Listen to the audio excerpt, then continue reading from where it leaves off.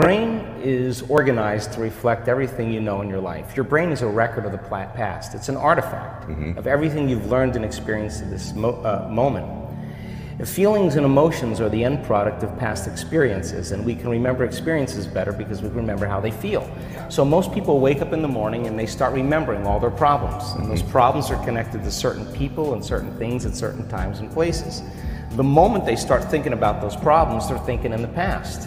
Those problems have an emotion associated with them, and the moment they start feeling those emotions, the body, as the unconscious mind, doesn't know the difference between an experience that's creating an emotion and the emotion the person's fabricating by thought alone. Now, thoughts are the language of the brain, and feelings are the language of the body.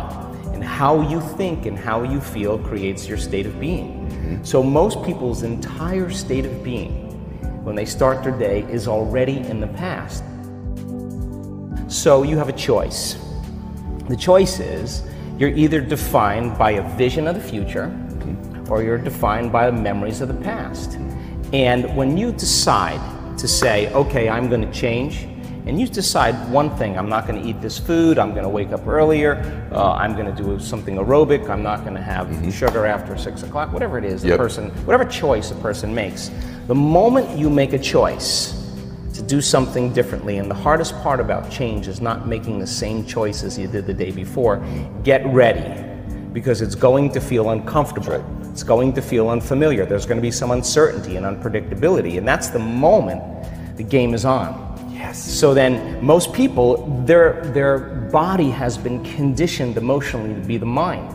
So now, the, so the, the body says, wow, uh, I'd rather hang on to my guilt than take a chance and possibility. I'd rather live in fear Yes. than trust in the unknown. So, Yep. so once the person feels uncomfortable, the body goes, whoa, wait a second, uh, we're out of the program here. And body starts influencing the mind. That's right. So it says, start tomorrow, you'll never change, Right. you don't have the money to do this, you're not good enough, your mother told you you were this, your father's fault, it's your ex's fault. Mm-hmm. You know, all of the voices that come up. Now, here's the deal if you respond to those voices, those same thoughts as if they're true, by the way, they're always going on behind the scenes of your awareness, but now they're amplified because you're outside your comfort zone.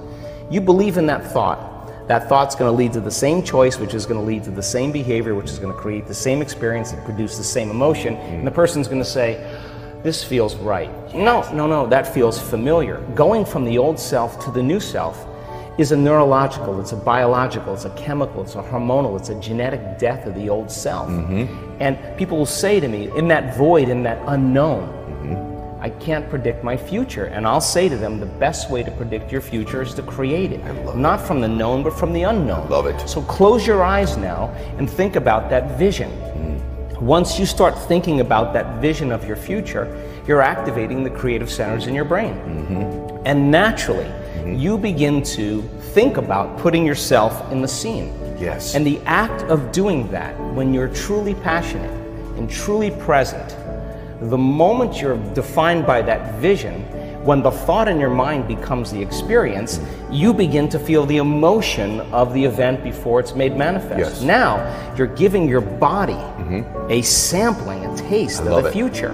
And now, if a thought and a feeling create a new state of being, you're combining a clear intention with an elevated emotion, mm-hmm. and now you're beginning to change your biology, and you're seeing a whole new landscape that you could never see before because you're no longer viewing your future through the lens of the past. I love this. Now, this this requires then something really specific because most people will wait for their, their, uh, their wealth to feel abundance. They'll right. wait for their success to feel empowered. They'll wait for their new relationship to feel loved. They'll get all these things when. Yes. Right. So, so, so think about that. The absence of getting those things causes people to live in lack their entire life. That's right. And so they're waiting for something outside of them to change how they feel inside of them. And if they're not creating a new life, then they're not pr- applying the proper principles, then they keep all their manifestations, all their dreams at arm's length. Well, think about this. If Yeah. you get up feeling gratitude, if you get up feeling empowered, if you get up feeling whole, if you get up feeling unlimited, why would you why would you worry about whether it was going to come or not? You would feel like it already happened.